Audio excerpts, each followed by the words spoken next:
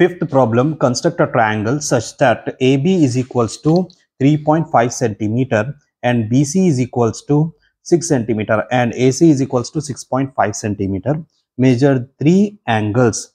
So they have given they have given the uh, dimensions AB, BC and AC and we need to construct a triangle and also we need to measure the three angles. So uh, they, here they have given AC 6.5 so let us draw our rough diagram AC and A to B is 3.5 centimeter. Then we are having BC there is 6 centimeter. So first I am going to take the base as AC so let us draw base of 6.5 centimeter. So here it is 6.5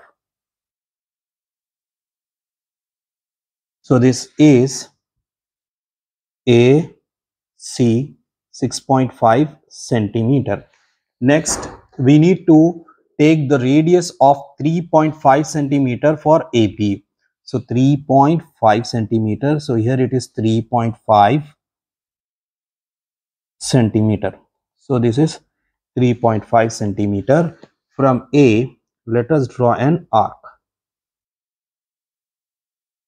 Next, for BC, we, we have to draw 6 centimeter.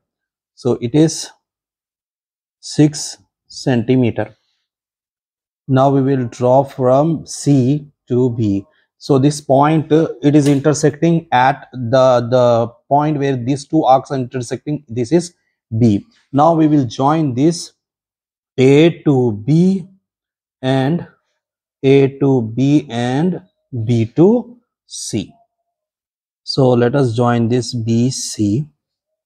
Now after joining them, we will write down their measurements. A to B is 3.5. So 3.5 centimeter and here it is 6 centimeter. After that, we need they so they told us to find out the measure of the angles.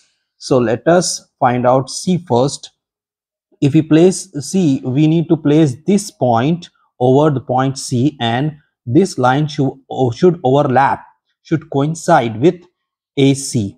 So now, now we placed it over this, okay. So we got approximately 30 degrees. So angle C is 30 degrees. So let me write here, angle C is 30 degrees. Next from A, now we will get from A if we measure, we are getting nearly 75 so angle a is equals to 75 we have to check from here. Sorry it is uh, it is 65 so angle a is 65 degrees. Next is angle b. So angle b we will see from here. We need to put this point over B. Now, here we can see the angle B is approximately 85. So, now we need to add and check.